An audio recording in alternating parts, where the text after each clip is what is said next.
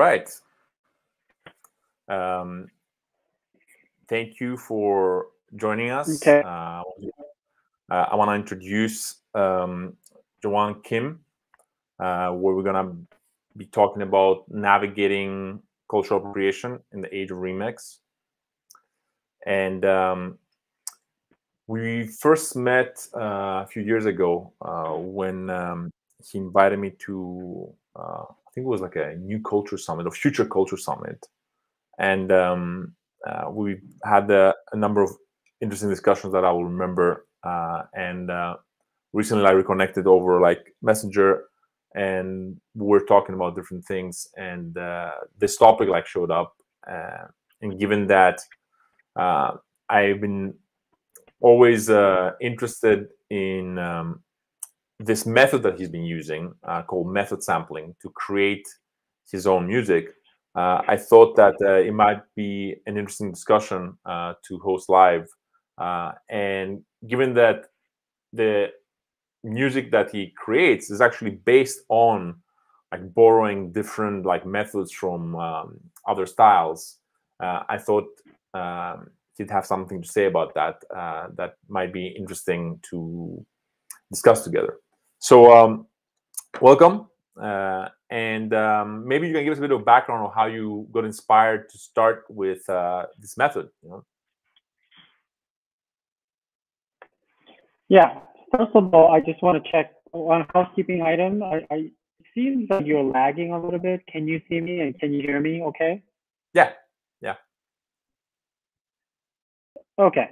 So in my end, you were just like moving very slow and I not talking, and then you were moving really. I, I, can actually so, see you and hear you fine, so um, it's fine.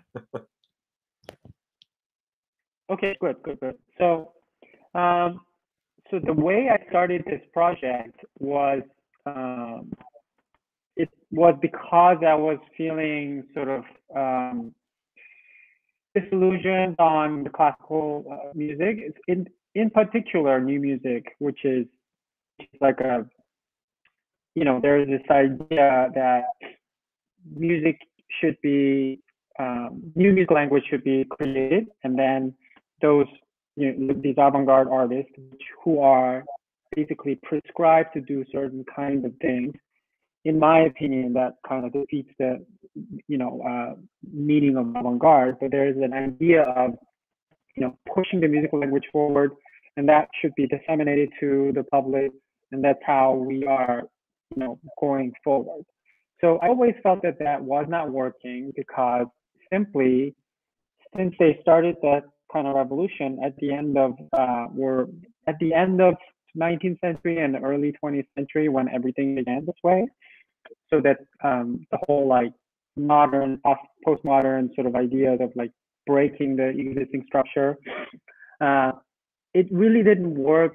It didn't translate to the mass culture. So if that, if, if it were the case, then we'll be hearing Britney Spears singing all this crazy tonal, you know, uh, top tone music, but never happened, right? So, and I felt that um, as a as a Korean person, what I was interested in about classical music was that simply was actually new, and not only was it new, um, because pop music is also new for me too. Since that you know in, Korea, pop music, anything that it has to do with non-Korean thing for me was very exotic and new, and I need to actually learn how they actually come up with these kind of structures. So compared to pop music, music for me was more rigorous. So it was more new. But then once I came here, I realized it's an old music, and not only that, there, there's a sort of uh, prescribed way or biased way or or like you know uh, how how would you call it um, so dogmatic way of doing being an artist so I, re- I rejected that because simply I wanted to be, you know, involved in something new and creating something new. And when I realized it wasn't actually new, I, I rejected it. So that's how I started it. And I did a piece uh, for a composition department concert at uh, San Francisco Conservatory of Music while I was doing my master's. and I included a an MC. Uh, they was like a sacrilege because I think that not only there is um, sort of um, you know the aesthetic doesn't match, but there's also this underlying sort of uh, current like uh, in America that I always say this in America there are three things that I don't understand. To give you the perspective, I mean I'm sorry, to go a little bit back. So to to to give you an idea of who I am is I grew up in Korea until I was 20 years old. So when I came here, I I was formed as a Korean person.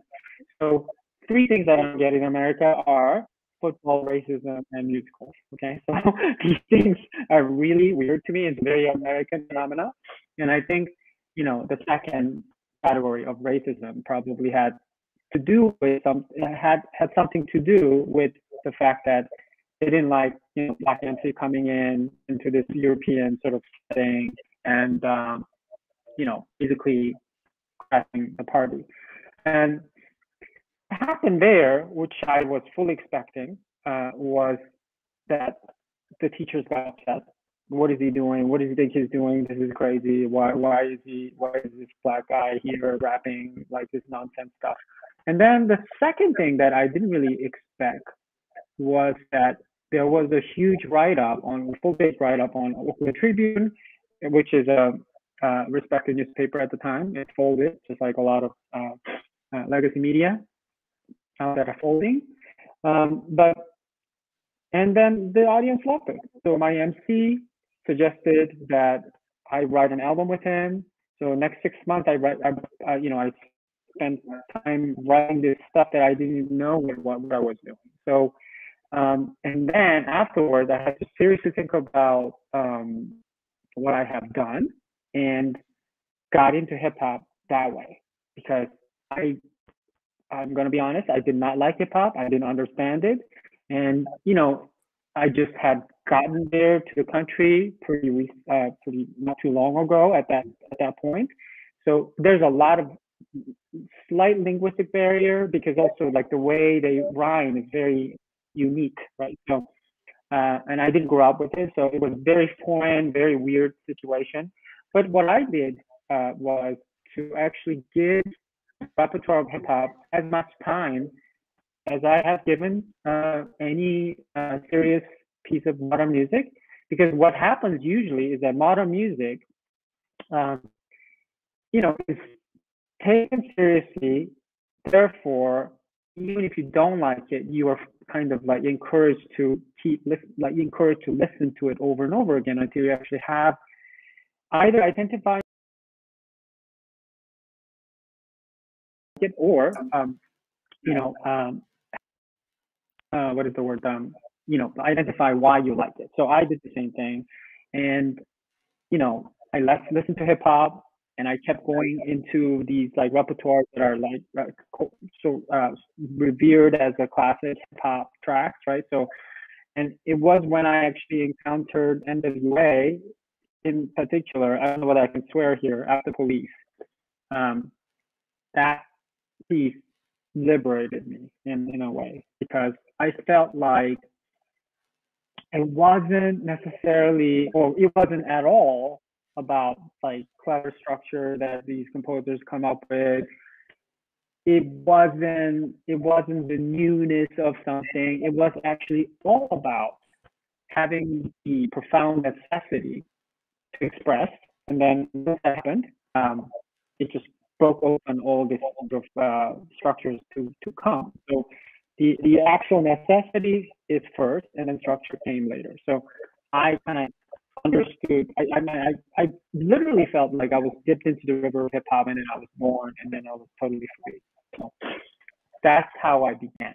Uh, and then we can talk about method sampling a little later, but um, but that's that's how I began this whole journey. I see. Um, I for some reason like I can't see myself on the on the screen, but uh, I actually did hear everything you said, and in some ways, like uh, you know, uh, your voice is more important than my face, so I don't care.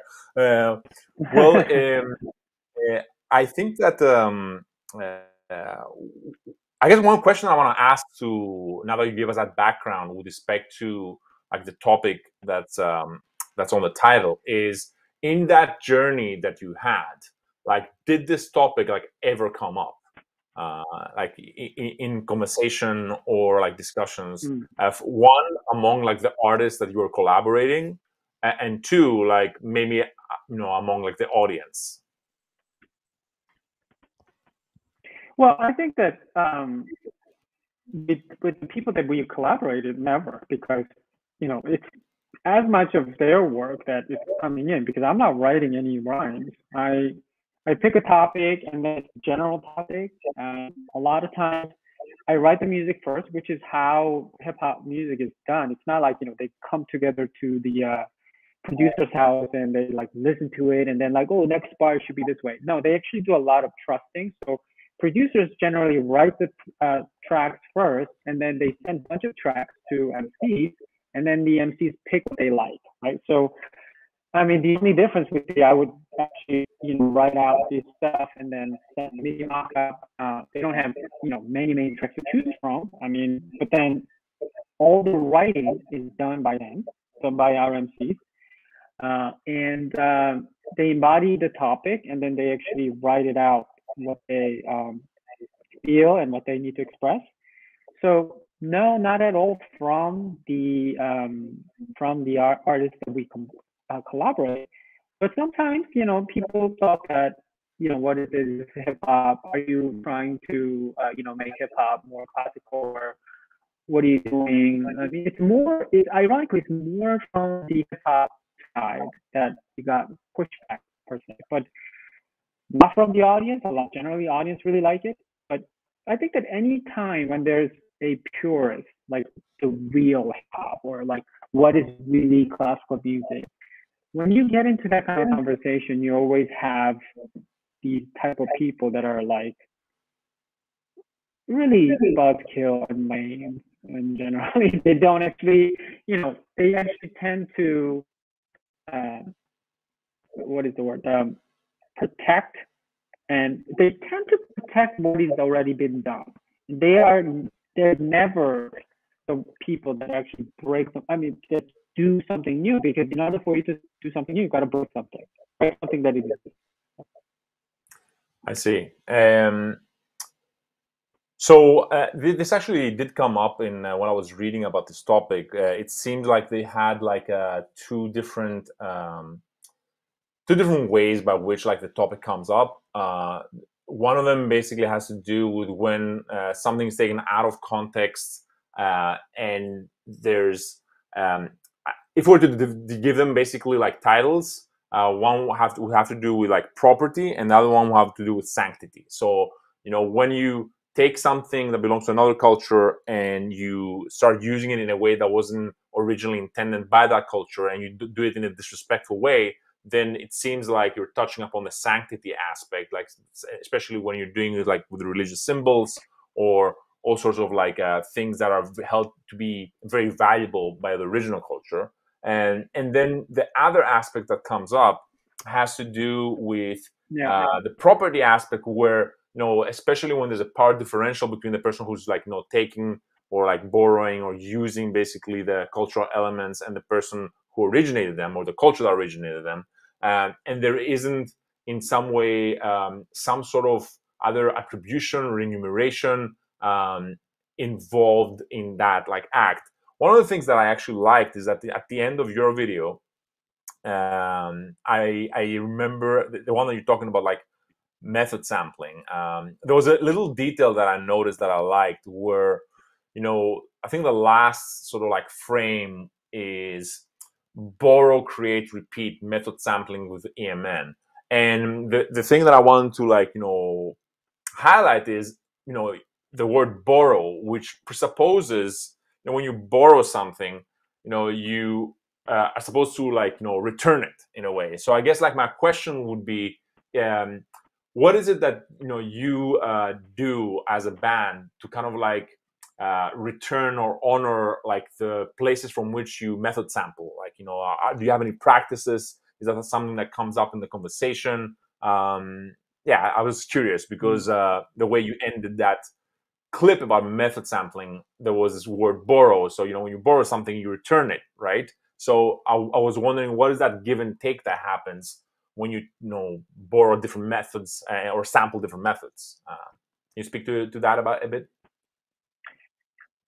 Yeah, absolutely. I think that I, I understand the remuneration part really well because I think that happened to African Americans here or people of color in general, but specifically African Americans regarding musical uh, sort of inspiration or what they did. You know, this is a prime example, and then all these like British pop bands that got ideas from blues and you know R&B acts here, right? So that side of music industry has been exploited like that to begin with, and I think that it's not um, an exception because it was, you're talking about power dynamics, right? You're talking about power dynamics. I totally get it. As for the sanctity uh, element, um, and then I'm gonna go, go to your question. Sanctity element, I don't know whether I totally am concerned about that because okay, unless I'm like actually I don't know. I mean, there's always taboo things in a culture. Like Western people think that there's no taboo, but you can't really joke about Holocaust or something like that, right? So, you know, in in in Muslim world, can't really like uh, depict uh, the image of prophet, blah blah blah blah. But there's there's different kind of taboos that we believe that is, you know, really horrible based on the history, you know, history and how we grew up and what, what does that mean? So, but in terms of sanctity now, how things are really changing is that start getting attached to that idea, then you can't really see the principle behind it. Because there's one thing to actually have,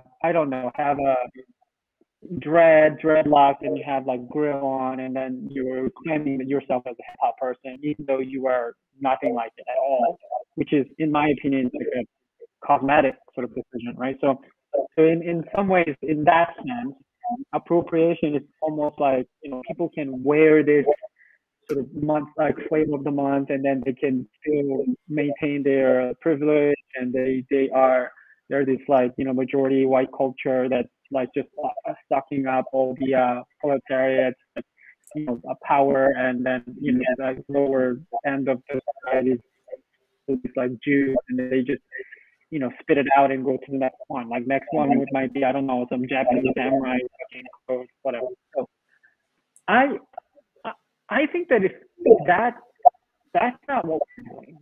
What we are doing is actually really going deeper into the principle because I think cultural things that are on the surface it's almost like cadaver because it's like decomposing. There's a lot of messy stuff there. But if you're thinking about, you know, ancestors' bones, the flesh is already gone, but you can still use the bones, right? So and that's going to last much longer. And then based on that, you can build something.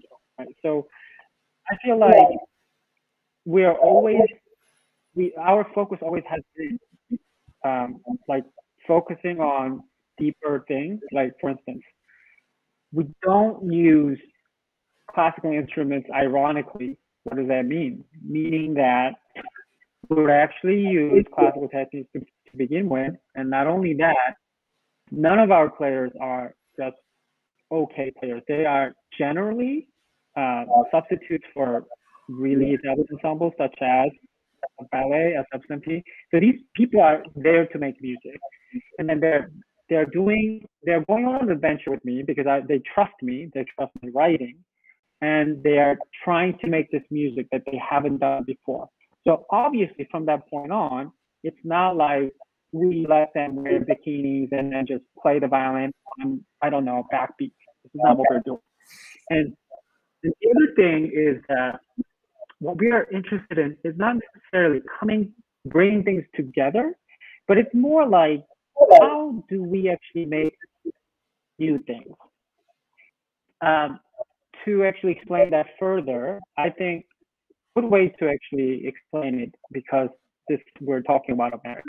Generally, we're talking about appropriation, don't even talk about it outside of the, this country. I mean, because this this this frame is also also being exported to other countries. But I mean, yes, I, I totally concede that there are serious, uh, you know, colonial sort of uh, here, and we are truly. I mean, it's in our mission statement that we, we are tr- truly trying to achieve the decolonization of thought. And um, but I digress. But we're really focusing on going to something new. When Columbus arrived to America, he thought that he was going to India. It was wrong, right? And not only that, when the Indians or the natives at the time came out to see Columbus's ship, which was a large uh, structure, they couldn't see it. They didn't have any frame of it. So at first, we are, what we are doing is to actually go to and at, at the same time, we're also bringing in new kind of frame so people are not seeing it right now. And I had experienced that by writing this music in the beginning and, and in general, my strategy was always to use classical techniques alone because I was good at it and I spent a lot of money and time to learn it. So I thought I could actually mimic hip hop tracks, right? But I, I, I thought I could recreate hip hop music. And what I, when I did, what I created was not hip hop at all. Why? Because no hip hop piece is more than like eight minutes long. I mean, oh, I'm sorry, like four or five minutes long. And aside from that, there's like, there's going to be interlude that is four minutes long and then it going going into different kind of time signatures and having all these different things that's there, which is normal for classical music, but won't happen in, in hip hop music. Then where are we now? Like, are we really in hip hop field or are we in classical? Obviously not. You know, a case point. All my teachers thought that we're, we're not in classical music. And I had a conductor, uh, a course of mine, who's 40% classical music. Okay, that's fine. But who cares? I never cared about that because of me not caring about sanctity because who cares about all this stuff? Like, why do you care about that? Because, you know, at the end of the day, all these cultural reasons for taboos come out of habits. It's customs and habits. We did it, there was a reason for it, but then it remained. Maybe it's not so much relevant anymore. I'm not saying everything is like that, but generally the way I approach culture is something to be changed because things are changing, especially now that history has accelerated during the pandemic. I mean, think about like six months ago or like two years ago. Can you imagine most people are be sitting at home, working at home? Who would need it at all, right? So it's accelerating right now. And we need to actually create new frames to actually match with the development of technology and the way we will be. And in that juncture, we actually need new structures. But then if you're thinking about sanctity, you're just simply going to reject certain kind of changes. And I would, you know, comfortably say you're the enemy of ensemble because we want to change. I didn't read uh, this uh, this interesting like um, paragraph in, in, the wiki for like cultural appropriation, uh, where it basically says that uh, it's actually a deeply conservative like notion, uh, despite it having progressive roots, that like first seeks to preserve in formaldehyde like the content of an established culture, and second tries to prevent others from interacting with that culture.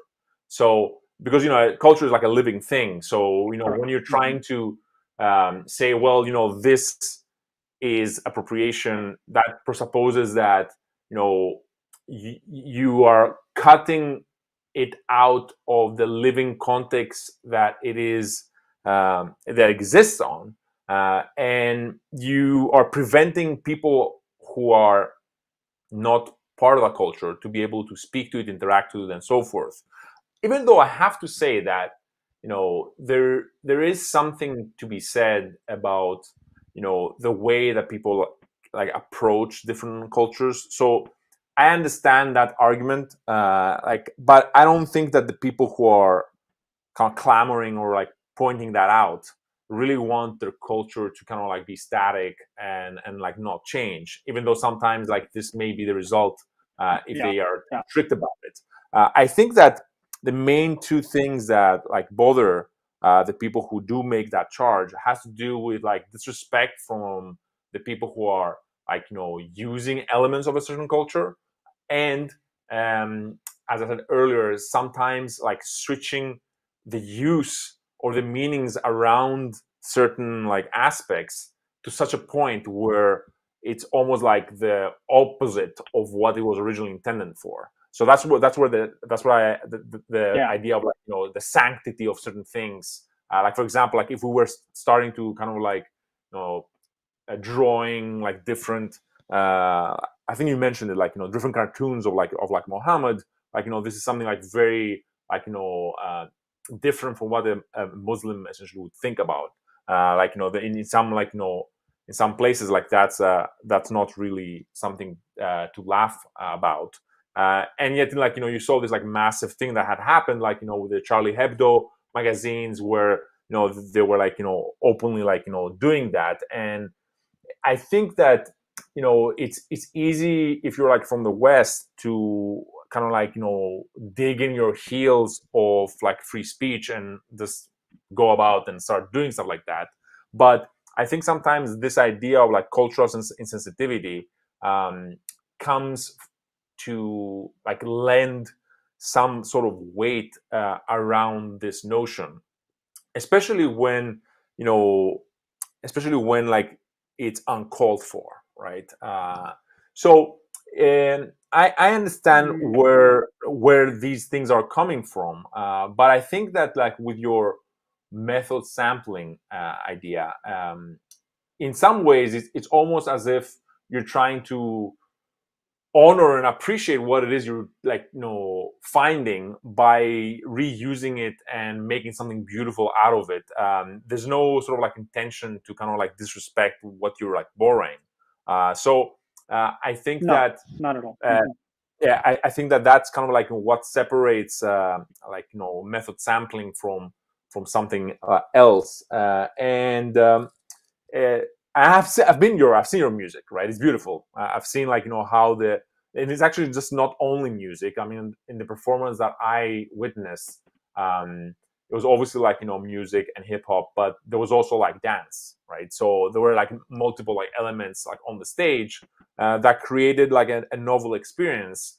And uh, if if we were too strict around like you know what we can borrow from other cultures, like that experience wouldn't have been possible, right? So um, it's it's like one thing to like you know look at the intentions, uh, and it's another one basically to look at specific instantiations of somebody who's mixing and matching things. Um, and like you know being able to make that distinction i think will be able to uh, help different artists like easily in some way like navigate um, that uh, that term without without necessarily any sort of like charges of like disrespect. Um,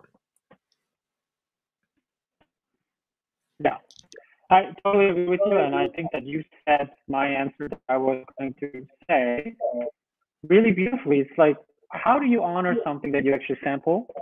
You have to make yeah. something beautiful with it, right? So if you think about even the um, hip hop and uh, hip hop producers, they literally rip off um, the um, the records that they want to use it from, and then they make different pieces, right?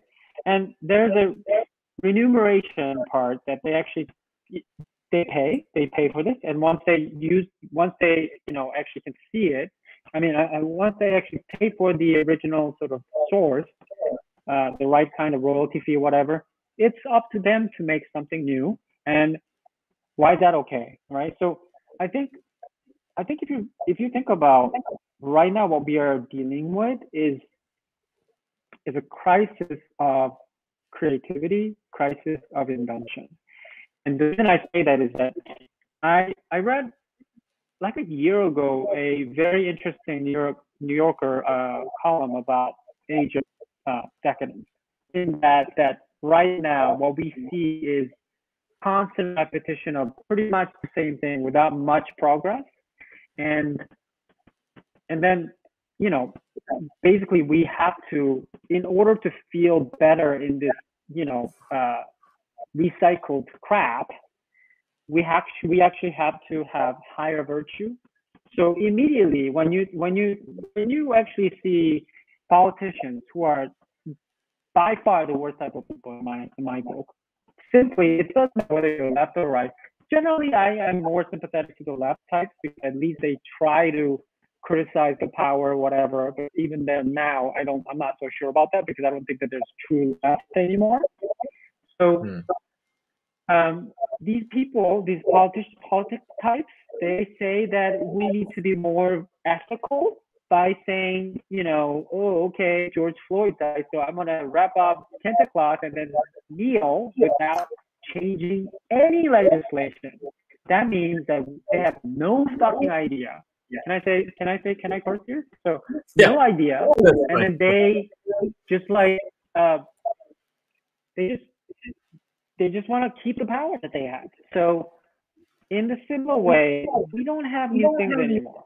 And and then whenever we have these kind of problems that are occurring of like, okay, there's no no more new things, you generally dig more like you know dig more trenches and then more entrenched because like oh okay well we need to we need to make sure that we're we're okay like our integrity is uh, kind of preserved but in fact, America in general was really good at innovation. Now we don't do that so much anymore. And we're just just it's basically the is so great. People think that oh, the more we have, the better it's gonna be. We are not actually. The, the newer we are, the better we're gonna be, and especially now when you know, uh, the older systems are no more working. So we need to constantly invent. How do you invent? So method sampling is basically uh, um, a way to innovate, right?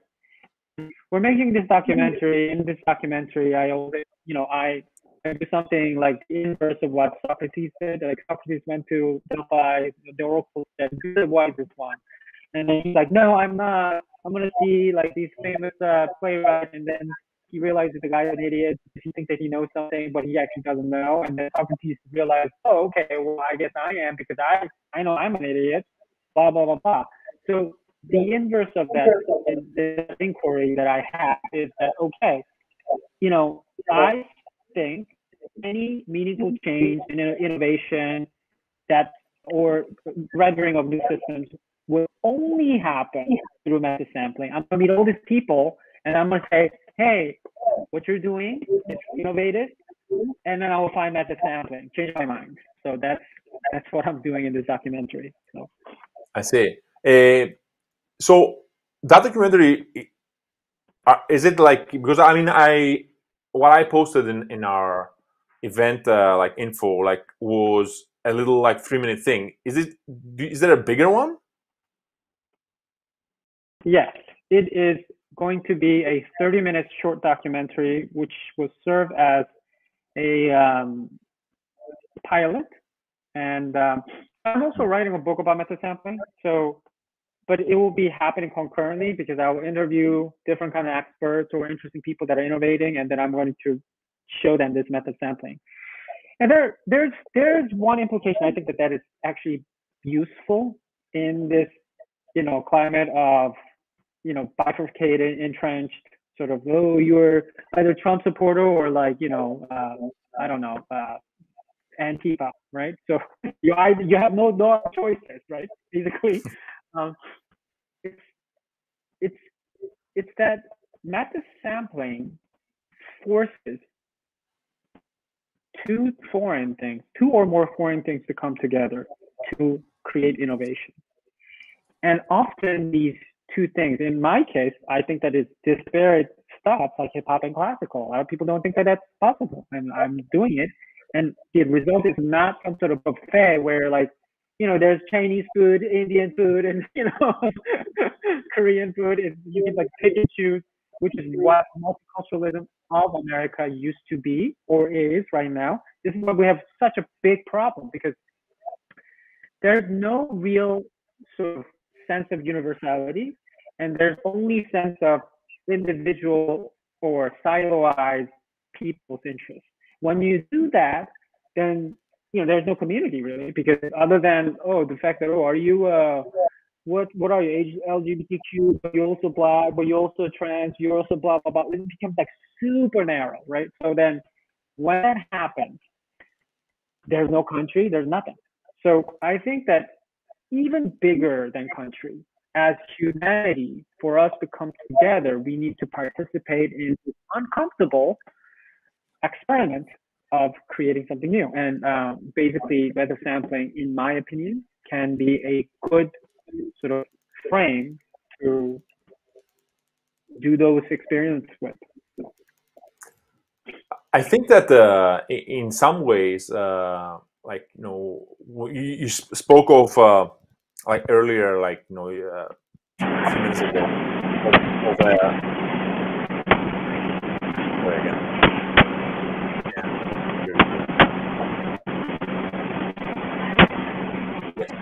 you. Okay, so I'm muted you for a bit because I'm hearing some sounds that are uh, that are like you know strange. But I'll unmute you now. Maybe they're gone. Okay, sure. Now they're gone.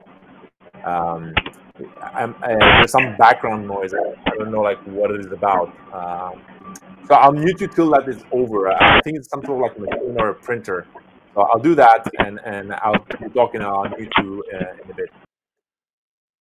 Right. So, um, yeah, what you said earlier had to do with uh, like this lack of innovation and creativity in some in some uh, respects. Uh, I want to speak a bit to that with like a cultural phenomenon, which is there is a lot of like um, prequels and like sequels, and you know Hollywood especially like goes really back to kind of like dig it, dig whatever they can to essentially reestablish an already uh, existing franchise. Uh, I think partially has to do with like marketing reasons. Like you know, they think that oh, like this has an audience uh, and it's already established audience. Maybe we'll use that and and instead of like creating a new market or a new audience, uh, we'll like capitalize on what we already have in our portfolio.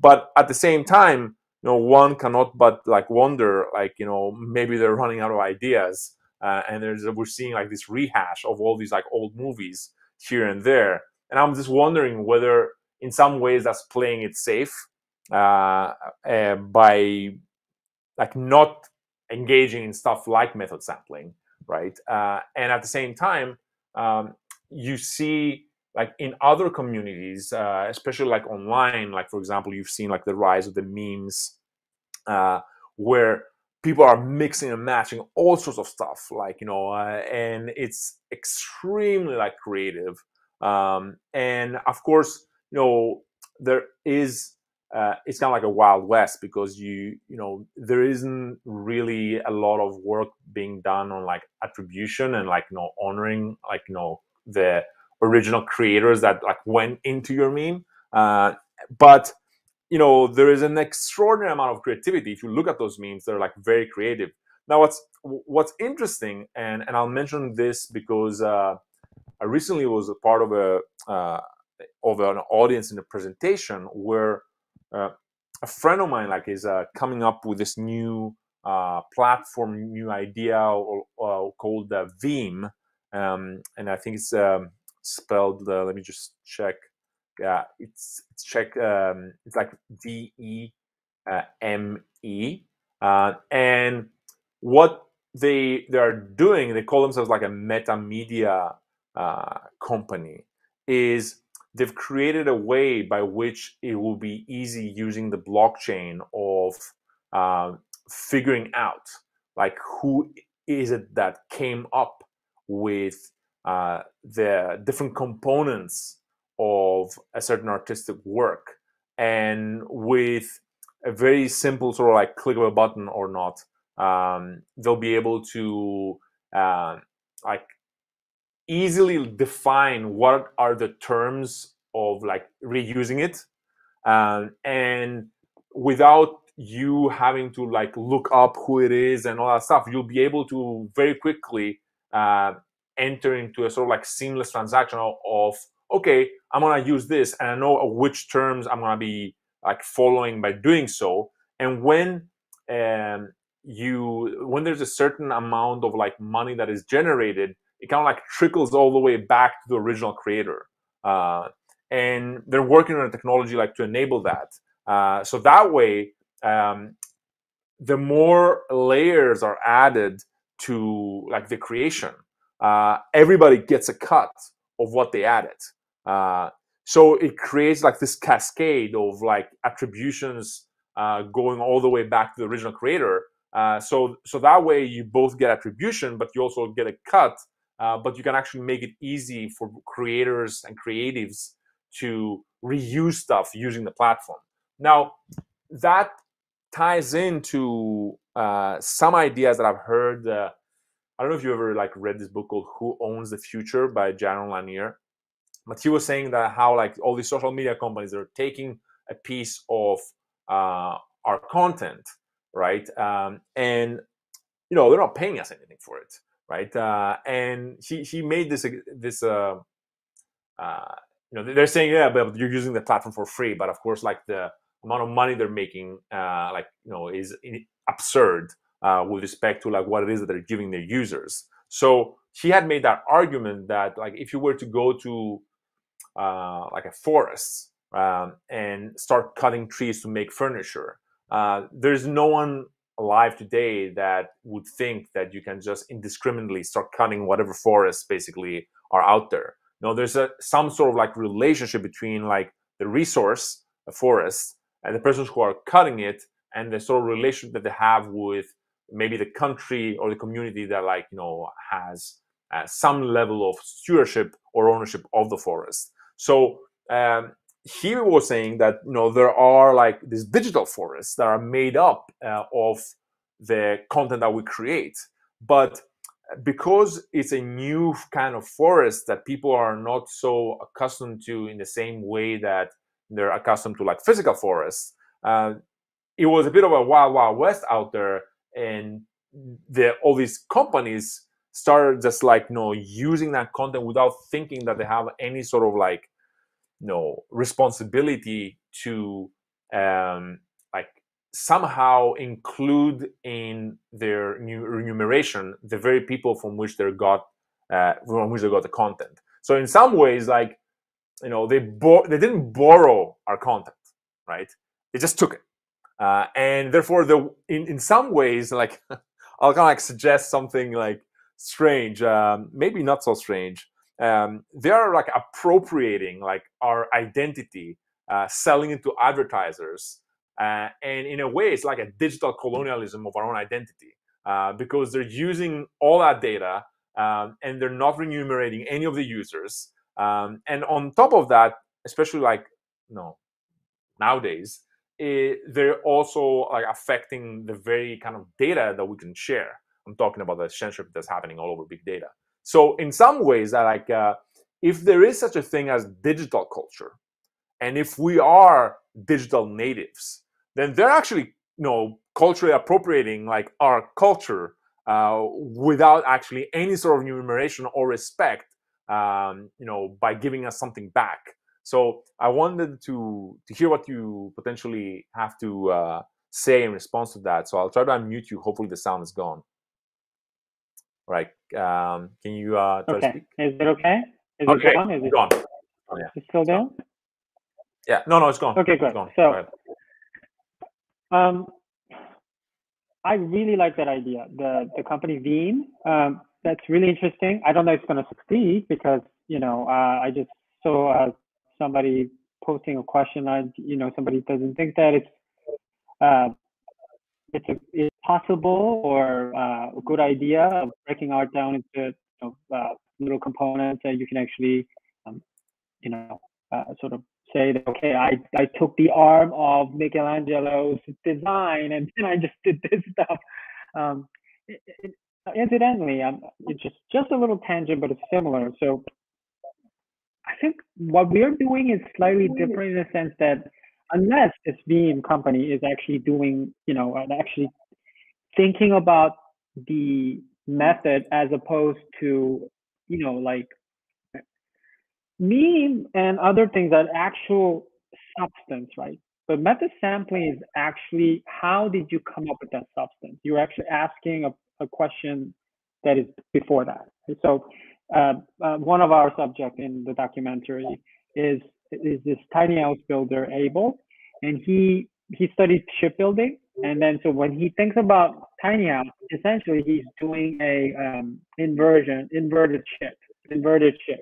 So instead of following the normal sort of construction of housing or like you know buildings, he's thinking about ship ship like inverted ship.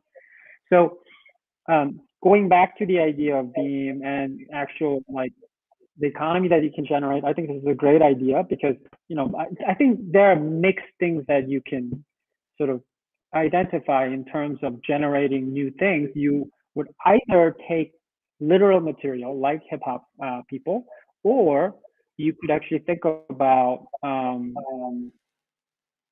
um, you know the um, you could actually think about the method uh, that where how how it was generated. So yeah, I like the idea, and um, I agree with you in terms of the um, big data. Basically, I think I think was it Andrew Yang? He, he talked about big data like it's new oil, right? So we're basically not even not even appropriated. We are we are the the freaking part that they take, right? We're generating it. They're just taking the resources that we're generating. So I think that might be better analogy.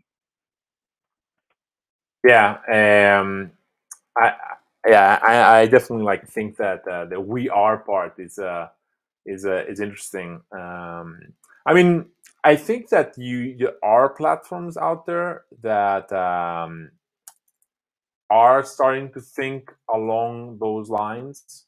So if you look at, for example, like Rally.io, um, and um, like they're trying to essentially find ways to establish what uh, what you would say would amount to sort of like collective ownership of uh, a certain like class of creative assets.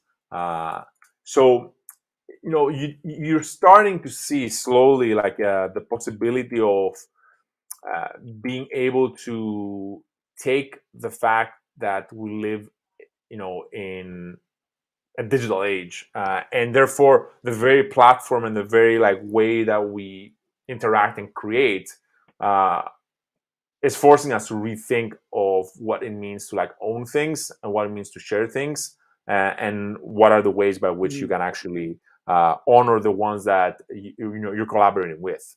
So uh, you know, obviously, like you know, when it comes to like the technology of like blockchain, like you know, I think that there's gonna be more developments with respect to like DAOs, uh, you know, decentralized autonomous organizations, where uh, you know we're all part of potentially a DAO, and, and in that DAO we have like very specific ways by which we sort of like you know um, create and share our creativity with for, with each other and for the public. Um, and uh, you know, DAOs also mm-hmm. like allow you to be able to like vote and change essentially those rules if you want to, or potentially even have like your own special special currency that um, you know people would need to use in order to like buy your own stuff uh, or other applications like that. So I think we're not there yet, obviously, um, but at least there seems to be some sort of like movement towards uh, taking the fact and acknowledging like the fact that we're digital natives and maybe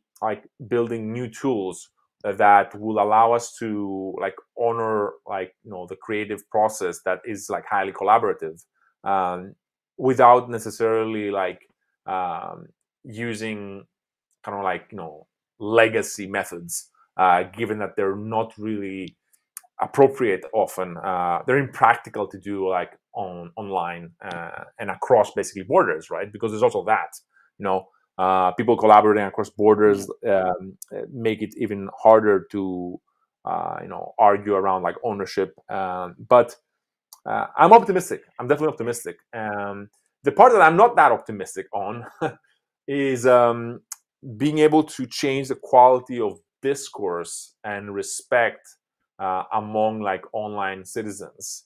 Um, it seems like you know with the changing of the business model of, of the news, where they realize that outrage and causing outrage is actually more profitable because people click more than eh, like other forms of uh, like you know engaging um, has have created like an, an unwarranted almost like polarization uh, between people who like you know live online in a way. Um, and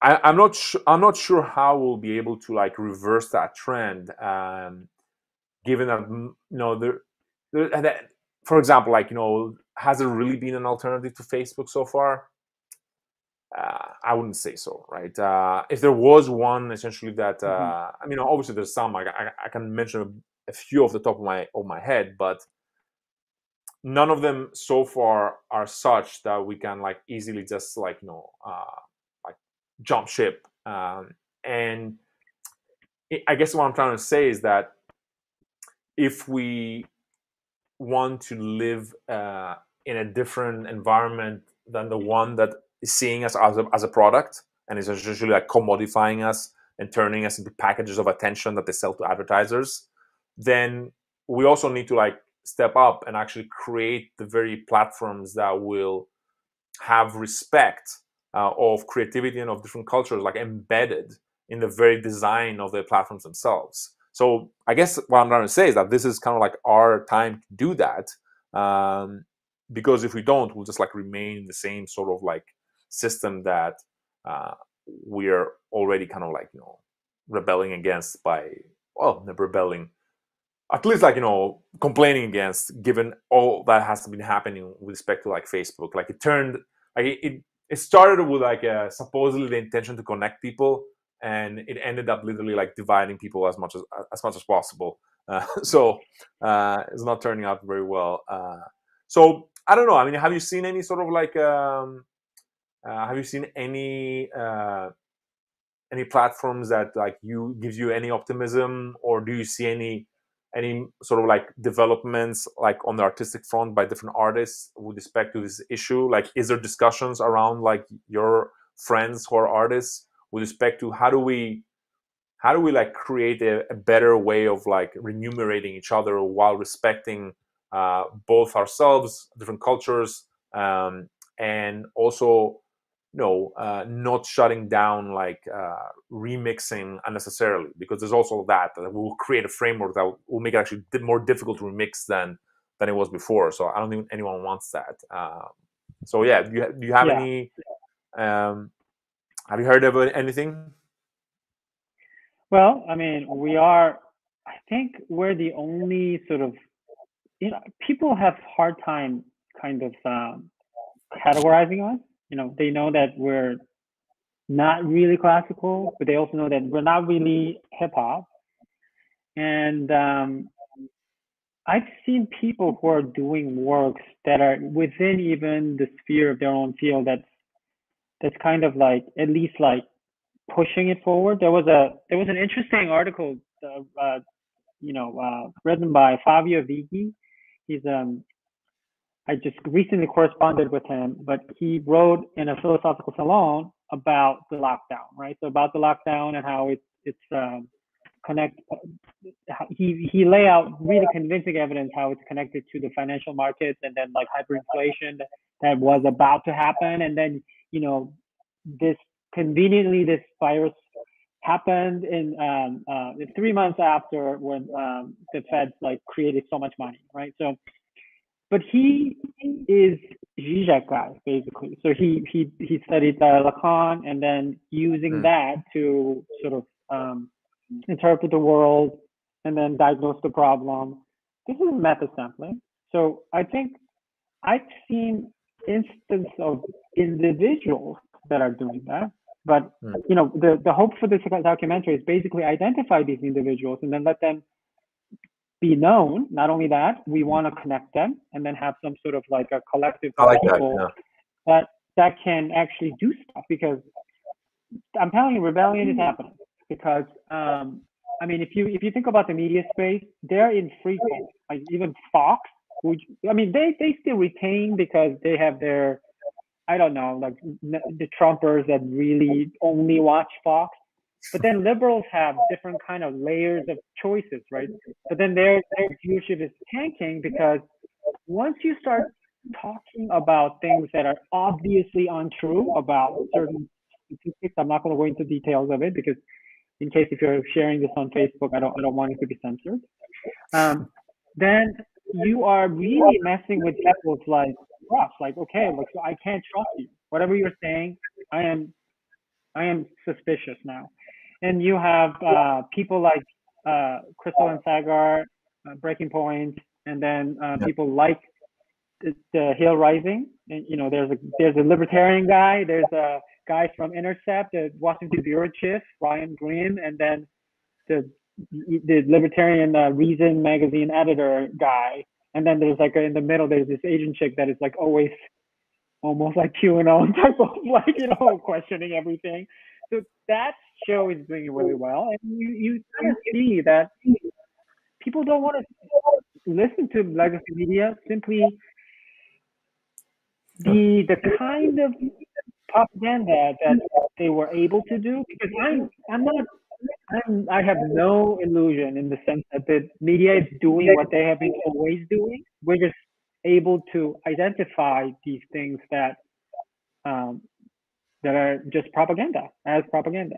So I think I think there is there is like a reaction against it, and you know, nature abhors gaps.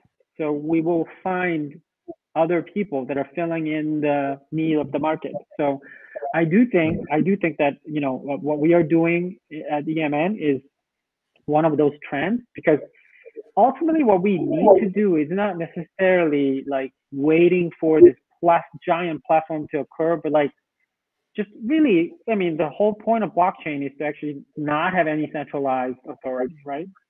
Even yeah. though, even though, let, let's face it, okay, technology will always win, but also the authoritarianism will creep in. You know, I mean, this is this is how how things always happen. This tension between like liberation versus like centralized, you know, control. So I do think that um, um, you know uh, there will be some control, like you know, uh, the forces that are uh, exerting control over this kind of blockchain type of like decentralized effort, but the answer will come out of bottom up. It will never come from an individual. You know what? You know what?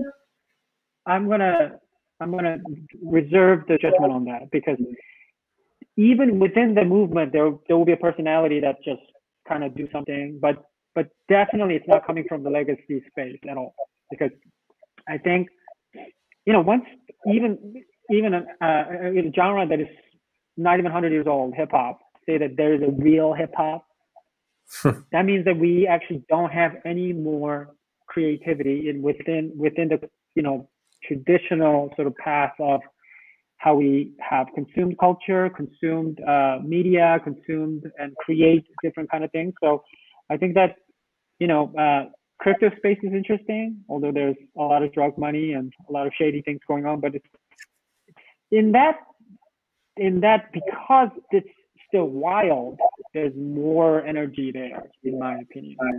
But mm. so I see what you're saying. I see what you're saying. Uh, there's a there's two things I w- I don't want to forget mentioning. Uh, one of them basically is uh, the distinction between um, like taking the method um, that is used to generate um, something from another like you know cultural style and taking basically the mm-hmm. content and playing with that. So I want to basically put a little like um, pause on that, but I think that's a like massively like important distinction, uh, especially with respect to like cultural appropriation. Um, and the second thing I'll say is um, you talked about you know the energy that there exists in the crypto space because of like you know the lack of like regulations and all that stuff. Um, I'll just ma- mention a reference uh, for those who are so inclined. Uh, there's a great book called uh, Master Switch that talks uh, uh, by Tim Wu that talks about you know this thing that he calls the cycle, where a new technology comes out, all the pirates, all the people who love being free, like you know, try to use it and essentially like uh, think that it's gonna be the thing that heals the world and so forth. That happened with yeah. radio, that happened with like you know uh, television, with the internet, and then slowly but surely, like you know, all the different like establishment, legacy, elite, basically uh, of whatever country this technology is in, come in and start regulating uh, all the crazes out. I mean, crazes according to them, all the pirates. So with the radio, they said, okay, you know, in order for you to transmit in this frequency, you have to get a license, right? Uh, and then, you know, of course, you can you don't have to sell the license to people you don't like. Uh, so there's a lot of ways of controlling who broadcasts where. Um, and in some ways, like he says that you start off by being free and open, and then it ends up becoming like some sort of like weird monopoly. So he feels that we're in that phase right now with the internet. Um, people call it sometimes like the appification of the internet. You see everything through apps that are controlled by big, like you know, companies like Google or Apple. Uh, so if anybody's interested in that cycle, uh, do check out like Master Switch by Tim Wu. But now that I said my, that piece, I want to go back to what you said with respect to method sampling, which is you guys are saying we're not going to get the products of a certain culture. Uh, we're going to take uh, take borrow, uh, as you say in your own video, the methods and produce new culture with it, uh, which is very different than taking the cultural artifacts. Because in that way you're actually not necessarily like you know interacting with the results of a certain cultural like methodology uh, like you're not taking the actual pieces of content that may have a specific significance but you're taking the methods themselves and using that to generate something new so i think that you know in, in that in that distinction mm-hmm. uh, you you know kind of like avoid a lot of the heat uh, that like you know somebody talking about cultural appropriation uh, may uh, like you know have to kind of like you know criticize you with because you're not actually taking the products you're taking the method um, and and I think that that that's a, something ought to be highlighted um, because yeah. it's different. Yeah. you know it's different um, yeah so so one thing that you said kind of like make me want to explain one process or like what you've seen, right? So you've seen a sort of like a proscenium show that had like MCs come out and then there's like a background, there's like a uh, um, orchestra there, and then you have turf dancers that are dancing uh, movements that are actually mixing ballet and then different kind of contortion, different things that yeah. are going on, and they actually constantly change and evolve the style. So that whole background is actually method sampling of how hip hop emerged via underground parties. So ideally, we our setup would be in somewhere like a black box situation where people actually walking around with drinks and, in their hands, and then ensembles there. But then there's a cipher circle that is highlighted so that the dancers can dance, and then people can participate. So when we actually kind of took that idea and then put it in the Proscenium show, we actually ended up creating something new because in method sampling, the, the idea of reframing is so important because reframing for me uh, in this system is is basically trying to find you're you're trying to bring know, you're bringing not trying to you're bringing new new method and then to insert it in the old field you don't have one-to-one there are certain things you can't have one-to-one translation and in doing so you're actually approximating or sometimes often misunderstanding it, and then changing them alters the whole field that you're trying to change, right? So, and and not that actually makes you go outside of that field. That also makes then the hip hop people never have done that. So therefore, we're we're changing both at the same time. It's a chemical reaction that creates like actual change, as opposed to a lot of times when people talk about fusion, it just it's just unclear, right? A lot of this is why we're not using the the word hybridization anymore because there's it's it one one people have been using it in a different context, And two, method sampling actually highlights explicitly how these kind of changes can happen in what way, right?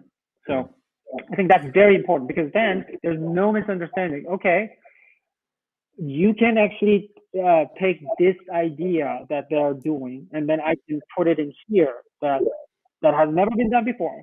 So then, according to the uh, the the people who are being sampled from, even then that is exciting. Oh, you're actually using this idea to do your thing. That is interesting. How did you do that? Maybe I'll take your idea, something else to make my my thing more interesting. Then we're going to a sort of like spontaneous creation to many many different places. And I think that this is so much needed now because we have this idea of you know orthodoxy and authority is even in at some point like it, it going into the the realm of science which is just a process.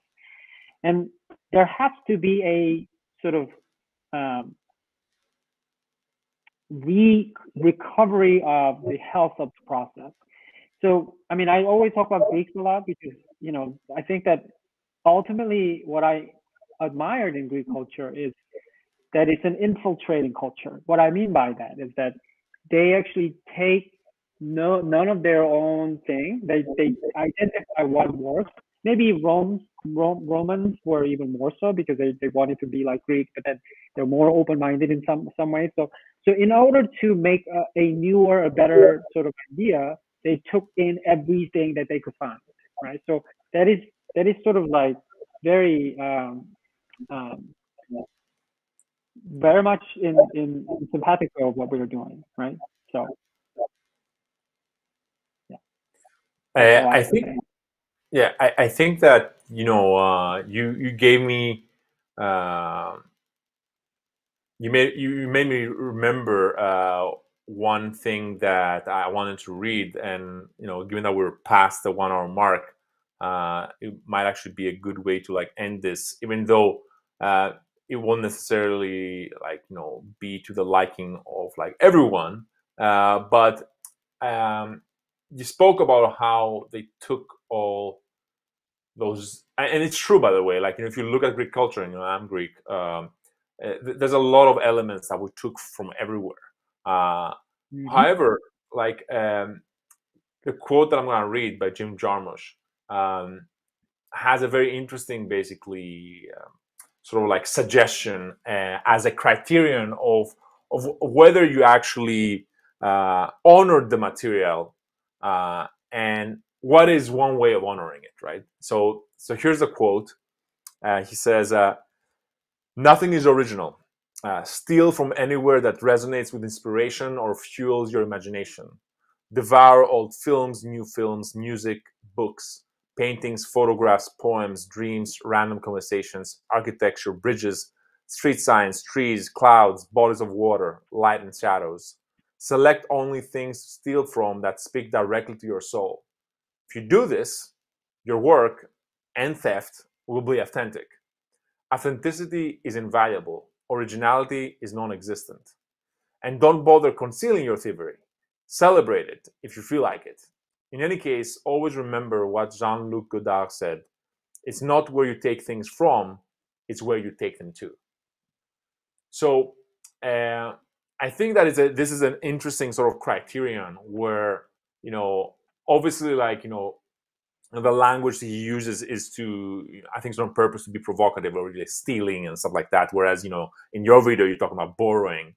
Uh, but um, you know, aside from but it's that, the same thing. It's basically the same thing. I think it's the same thing. I think I think it's okay. Right now, there's so much like fear, like oh, if I say this, I'm a Trump supporter, right? Oh, that kind of stuff. Like I, I think that we need to be more. As long as we have like our direction is not, you know, going to more oppression and more racism, more like sexism, then we have to be able to explain and then mm-hmm. express ourselves in an authentic way. Otherwise, you know, there won't be anything happening. And then the only people that are actually benefiting from are the people that already have power and money, big corporations, and all these people that got super much more richer during this lockdown. When meanwhile, small business were losing all their power. So I think we should not be afraid as long as we were, we are able to clarify our our uh, um, position. I think we should say whatever. I think it's important. Uh, no, I, I understand like uh, where you where you're coming from this. Um, uh, even though I, I, I will say that like you know even in the text that we read, he actually kind of like you know explained what he meant like uh, a few sentences down. Uh, but uh, the thing that I wanted to say is that uh, the criterion that he's, she's suggesting, right, is that you show your respect uh, of the method or the content that you're gonna be like you know borrowing, like you know reusing by where you take the material, right? Uh, do you take it to a beautiful place, you know, uh, and, and in what way you do so? So, in in some ways, like that could be a, a, one criterion that um, I haven't necessarily seen in the literature around like cultural appropriation, which is like where do you take the material towards, right? Uh, uh it's not just you know uh, you know the respect that you pay to the material because often like you know at least from the stuff that I've read, like it's mostly like focused on people who disrespect the material, right? Uh, and I think that yeah. like yeah. Th- there's there's one way of respecting material, which is essentially to just reproduce the original intention, which is fine for people who want to do that. But I don't think that's the only way to respect the material. Another way to respect it is to actually take it to places that the original culture or the original basically style uh, didn't envision that ended up being beautiful or interesting or innovative. Uh, that's another way of honoring it, even though you're changing it. So uh, I think that's a sort of like positive note uh, to kind of like you know close this on.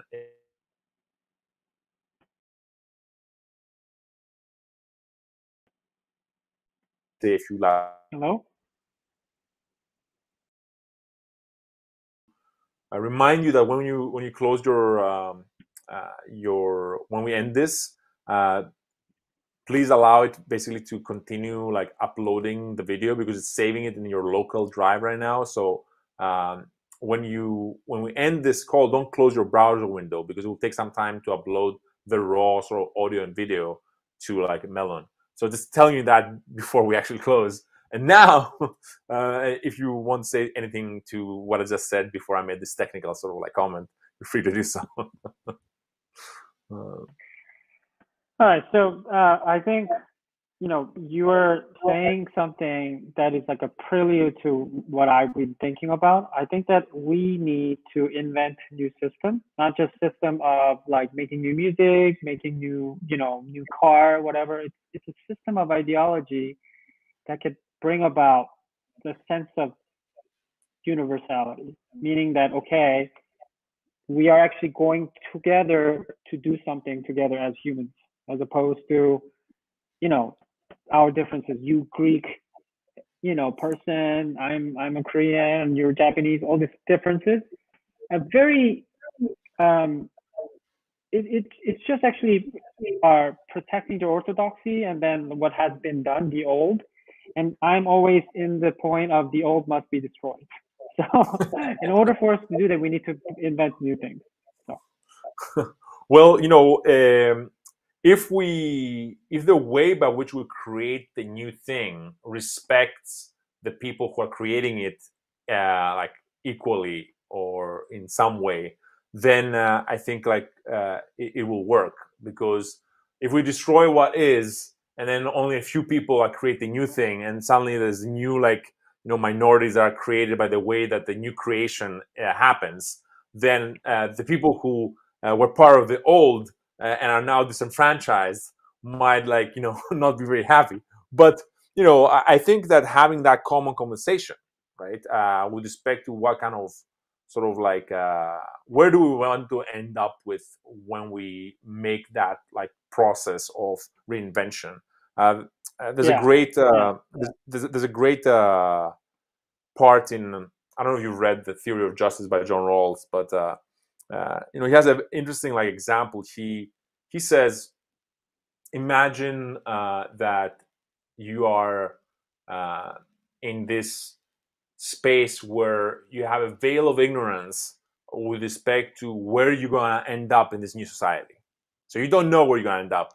Uh, uh, you don't you don't know whether you're like you know uh, like black, white, uh, poor, rich. Um, so if you don't know where you're going to end up, let's say that you're like a disembodied soul that's like you know that's ready to like incarnate in this new world, right? Uh, if you don't know where you're to end up, how would you design that society? Because clearly, like you know, if you don't know, you might actually end up if you if you design it and in a way that's very like you know unequal or or strange, uh, you might actually end up being part of that group that is oppressed.